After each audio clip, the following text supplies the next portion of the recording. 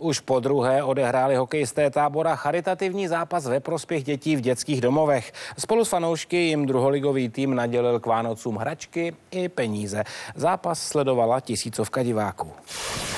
Pravidla dnešního zápasu zněla jasně. Při každé brance domácích budou létat na led plišáci. Stačilo odehrát jen půl minuty.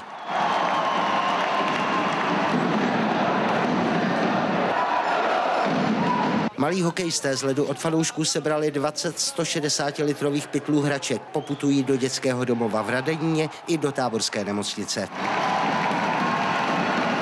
Pomáhají nám lidi, chceme pomáhat taky někomu. No. Táborští hokejisté vykouzlili úsměv na tváři i tomuhle klukovi, i když na vozíku nevynechá jediný zápas. Aby to měl jednodušší, dostal nový skúter a tleskalo se ve stoje.